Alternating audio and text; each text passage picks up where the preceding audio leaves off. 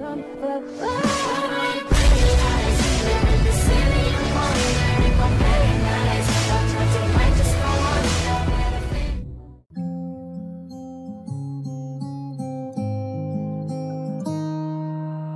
Muy buenas gente, aquí estamos otro día más en mi canal con un nuevo vídeo y hoy os traigo un nuevo speed art, en este caso como estáis viendo en pantalla y como habéis visto en el título no es un speed art de un mascot logo sino que es un speed art de un diseño de camisetas que hice para, eh, no sé si el último o el anterior vídeo que subí, que visteis el proceso del logo que estáis viendo aquí ahora mismo en pantalla con el que estoy trabajando estas camisetas, que es el logotipo para el equipo de Sadistic. La verdad es que estoy muy contenta con el resultado, me gusta mucho cómo han quedado las camisetas. Tengo que decir también que no me pusieron eh, muchas especificaciones a la hora de hacer el diseño, me dejaron bastante libertad.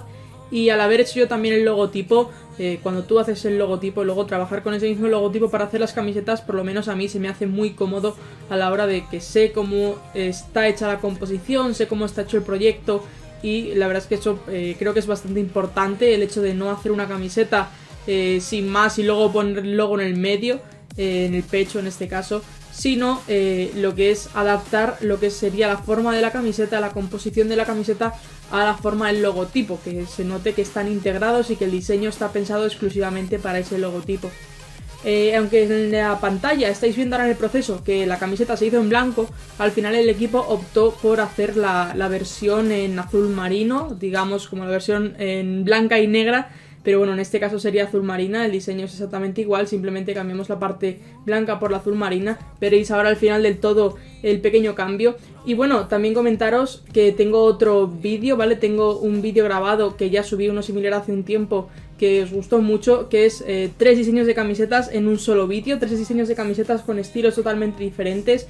Eh, me gustaría que me comentaseis eh, abajo si queréis que suba ese vídeo o si preferís que suba los speedarts de la camiseta uno por uno. Y bueno, un poquito más, no olvidéis pasaros por mi canal de Twitch, que este diseño de camisetas se hizo en directo en Twitch.